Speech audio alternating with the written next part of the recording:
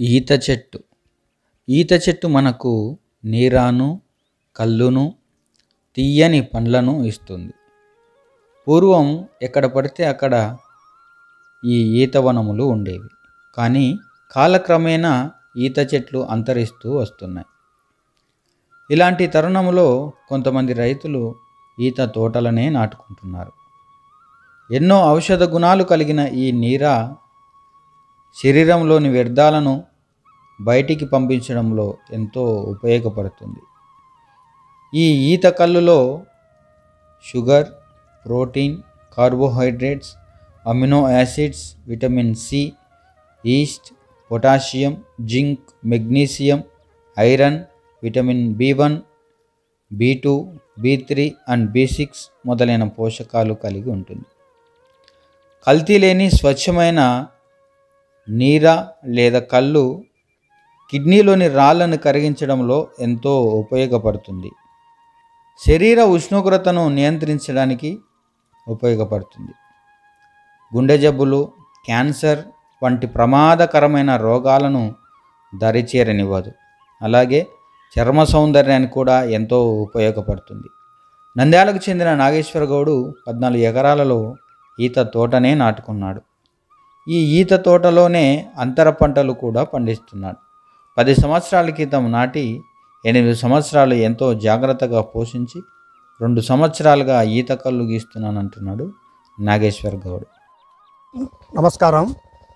నేను నాగేశ్వర గౌడు నంద్యాల. నంద్యాల నుంచి మేము కళ్ళు వ్యాపారము ఇరవై సంవత్సరాల నుంచి చేసుకుంటూ ఉన్నాము వ్యాపారం. ఆ వ్యాపారం చేసుకుంటూ నాకు ఈత చెట్లు అనేది రైతులు పొలాలు చేసుకుంటూ ఎక్కడ ఈత వనములు లేవు ఈత చెట్లు లేవు.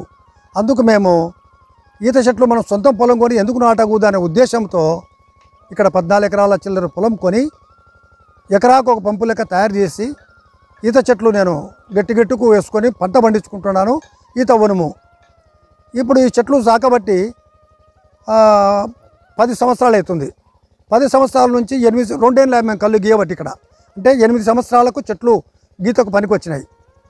ఈ గీతకు పనికొచ్చిన వాళ్ళ నుంచి కూడా మాకు సొసైటీలు మాకు నంద్యాల్లో కొన్ని పల్లెటూర్లు ఉన్నాయి అక్కడికి వాళ్ళు ఇప్పుడు గీసుకొని పోతున్నారు ప్రస్తుతానికి. గీసుకొని పోయి వాళ్ళ కళ్ళు అమ్ముకుంటూ జీవనోపాధి మా బంధువులే ఎక్కువ చేసుకుంటూ ఉన్నారు. దీని తోడుగా పొద్దున పూట గీసిన కళ్ళు నీర. ఆ నీరు అనేది ఆరోగ్యానికి లివర్ ఇది మన కిడ్నీలకు రాళ్ళు పోవడం కానీ మంచిగా ఆరోగ్యంగా పుష్టిగా పూర్వం కళ్ళు తాగే బలవంతులుగా ఉండేవాళ్ళు. రాజులు తాగి నిద్రపుచ్చినారు మా పెద్దలు. లేబర్ కూడక కష్టం చేసే వాళ్ళకు కూడక రెండు సీసాలు తాగి మూడు సీసాలు దాగి కూడక నిద్రపోయిన జీవితాలు ఎంతోమంది కష్టజీవులకు కానీ సుఖ సంతోషమైన వాళ్ళకి సంతోషపడేదానికి కానీ ఈ కళ్ళు తాగి అమృతంతో సమానంగా మా గీత వృత్తిని మేము చేసుకుంటూ ప్రజాక్షేమంలో ఇటువంటి తోటలు పెట్టుకొని ఇంకా చాలామంది కూడా ఇటువంటి తోటలు పెట్టాలని నా లెక్కనే చేసుకోవాలని ఈ కళ్ళు వల్ల ఎన్నో ఉపయోగాలు ఉన్నాయి కాబట్టి మేము కళ్ళును నమ్ముకొని పది సంవత్సరాల నుంచి చెట్లు నాటినాము. రెండు సంవత్సరాల నుంచి కళ్ళు గీస్తున్నాం. కళ్ళు గీయడంలో పల్లెలకు తీసుకుపోయి మంచిగా నీరు అమ్ముతున్నారు. కళ్ళు కూడా మధ్యాహ్నం పూట. ఈ లొట్లు కట్టడం గీత కార్మికులు మా బంధువులే ఉన్నారు కళ్ళును తయారు తీసుకుపోయి అక్కడ బండి మీద తీసుకుపోతారు అమ్ముకుంటారు. ఈ కిడ్నీలకు ప్రాబ్లం లేకుండా శక్తిని కూడా బాగిస్తుంది ఇవి నా రెండు వేల నాలుగు వేల చెట్లు ఉన్నాయి మాకు మొత్తం చెట్లు. నాలుగు వేల చెట్లలో రెండు వందల చెట్లు గీసుకుంటాము. ఈ రెండు వందలు మూడు నెలల పదిహేను రోజులు కడతాయి తర్వాత మళ్ళీ రెండు వందలు కొడతాం అట్లా సంవత్సరంన్నరకు మళ్ళీ చెట్లు వస్తాయి గీతకు. ఒక సంవత్సరం పైగా అయ్యే వరకు చెట్టు పెరగదు మళ్ళీ గీసుకోవడానికి. మూడు నెలలే చెట్టు మూడు నెలల చెల్లరే చెట్టు కారేది కళ్ళు. ఆ రకంగా మేము చేసుకుంటూ ఈ దేవుని దయతో మా నంద్యాలకు దగ్గట్లో ఈ నంద్యాల మూలసకర పొలం ఇది నంద్యాలది. భీమవరం దగ్గర నంద్యాల నుంచి భీమవరం వచ్చి ఇక్కడికి వస్తారు. ఇట్లా పులిమద్ది నుంచి వచ్చి కూడా దగ్గర రావచ్చు. రెండు విధాల దావలు ఉన్నాయి. ఈ అది ఈ తోటకు ఉండే ప్రామాణికత. ఇక్కడ మా బామార్దులు కూడా సొంత బామార్దులు ఉన్నారు కష్టపడతారు బాగా. మా తమ్ముళ్ళు ఉన్నారు కొంతమంది బంధువులు ఉన్నారు అందరూ చేసుకుంటూ బాగా ఉన్నాము. ఈ చెట్లు ఇత్తనాలు మహారాష్ట్ర నుంచి విత్తనాలు తెచ్చుకున్నాము. ఆ విత్తనాలు కవర్లో పెట్టి ఆరు నెలలైన తర్వాత చెట్టు మొలకలు నాటినాం. నాటి దానికి ట్యాంకర్తో నీళ్ళు కట్టుకోవడం కానీ కాలువలు చేసి నీళ్ళు కట్టుకోవడం కానీ పక్కనే వంక ఉంది వాగు. ఆ నీళ్ళు సప్లై చేసుకొని చెట్టు పెంచినాం. కింద గడ్డి ఉండకూడదు. పురుగు పడితే పురుగు తీసేసుకోవాలా. చెట్టును సాకే విధానం చాలా తెలివితేటలతో చేసుకోవాల్సిన పని ఉంది.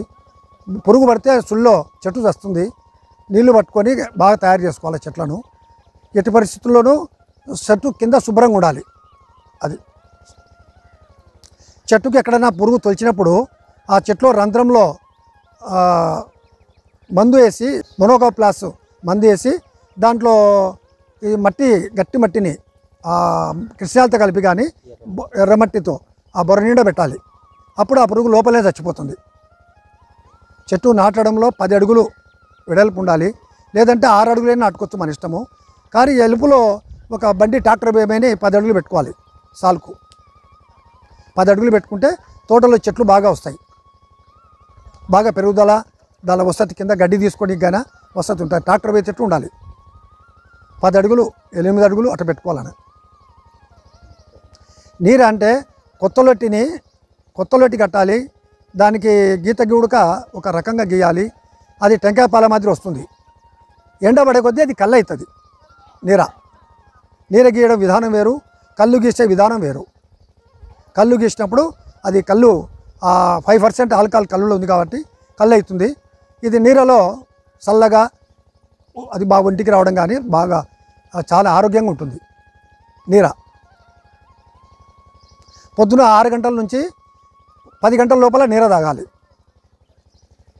ఆరు గంటల నుంచి పది గంటల లోపలనే తాగాల నీర. ఎండ పడితే కళ్ళు ఈ రకంగా కళ్ళు అవుతుంది.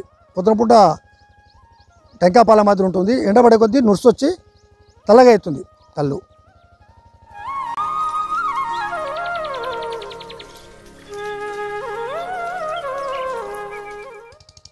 కల్లుగీత సహకార సంఘం టౌన్ అధ్యక్షుడు నేను. ఇక్కడ ఈ పొలాన్ని తీసుకొని ఇక్కడ మేము తయారు చేసుకుంటూ ఇది ఒక వనము ఇరవై నాలుగు పద్నాలుగు ఎకరాలు ఇరవై నాలుగు సెంట్లు భూమి.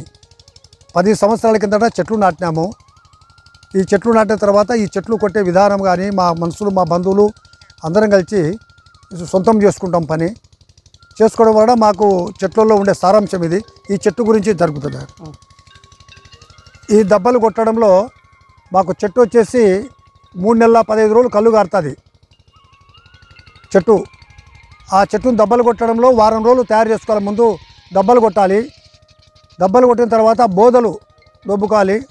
బోదలు దొబ్బిన తర్వాత మళ్ళీ కాట్లు వేసుకోవాలి. కాట్లు వేసిన తర్వాత బొడ్డాకులు ఇవన్నీ పెట్టుకొని తాళ్ళు కట్టుకోవడము మా కార్మికులు ఆ విధంగా కళ్ళు కార్చేదానికి ఎంతో కష్టపడి ఈ చెట్టు కళ్ళు తీస్తారు. ఈ కళ్ళు తీసిన తర్వాత మూడు నెలల పదహైదు రోజులు మేము నాలుగు నెలల వరకైనా గీసుకోవచ్చు. కానీ మూడు నెలల పదహైదు రోజులకే మేము సాకిన చెట్లు కాబట్టి శుభ్రంగా బంద్ చేస్తాము. ఓ చెట్టుకు పురుగు పడకుండా చూసుకోవడము చెట్టును బాగా పెంచుకొని దీన్ని తయారు చేస్తాము. నాలుగు వేల చెట్లు ఉంది మాకు కూడా. నాలుగు వేల చెట్లు ఉంటే రెండు వందల చెట్లు గీసుకుంటాము. మాకు కొన్ని పల్లెలు ఉన్నాయి ఆ పల్లెలకు పంపిస్తాము. నంద్యాల టౌరు ప్రస్తుతానికి అంగలు పెట్టలే. ఎందుకంటే మాకు సమస్యలు ఉండి అనివార్య కారణాల వల్ల కొంచెం ఇబ్బందులు ఉండి మేము బంద్ చేసుకున్నాము. ఇప్పుడు అప్పుడు మళ్ళీ ఓపెన్ చేసుకుంటాం నంద్యాల టౌను. అంతవరకు పల్లెటూళ్ళు ఒక నాలుగు ఉన్నాయి ఆ నాలుగు ఊళ్ళో పంపిస్తాం. ఇక్కడ నుంచి గీసుకొని పోతారు. వీళ్ళంతా మా బంధువులే కొత్త వాళ్ళు ఎవరు లేరు. మా బంధువులకు వాళ్ళకి తగినంత మూల్యం జీతం మాదిరి ఇచ్చుకుంటాము. ఏదైనా మిగులితే తీసుకుంటాం లేకపోతే లేదు. అంతవరకు ఈ చెట్టు